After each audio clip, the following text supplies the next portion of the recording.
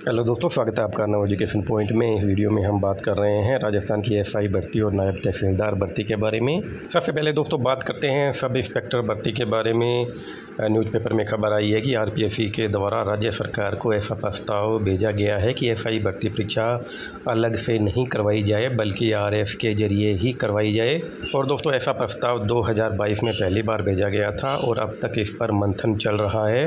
नई एसआई भर्ती का इंतज़ार भी छात्रों के द्वारा लंबे टाइम से किया जा रहा है। चुनाव से पहले संभावना थी कि नई एसआई भर्ती की विज्ञप्ति जारी होगी, लेकिन एसआई भर्ती की विज्ञप्ति जारी नहीं हो पाई थी। दूसरी ओर, दोस्तों, राजस्थान में नायब तहसीलदार भर्ती को लेकर भी असमंजस की स्थिति बनी हुई है। अब तक दोस्तों ये भर्ती आर के ज़रिए ही होती थी, लेकिन दोस्तों कई न्यूज़पेपर में नायब तहसीलदार सीधी भर्ती को लेकर कई खबरें आई है कि इस भर्ती को वित्तीय स्वीकृति मिल चुकी है। ताकि किसी भी न्यूज़पेपर ने यह स्पष्ट अब तक नहीं किया है कि भर्ती अलग से होगी या आर के ज़रिए ही होगी।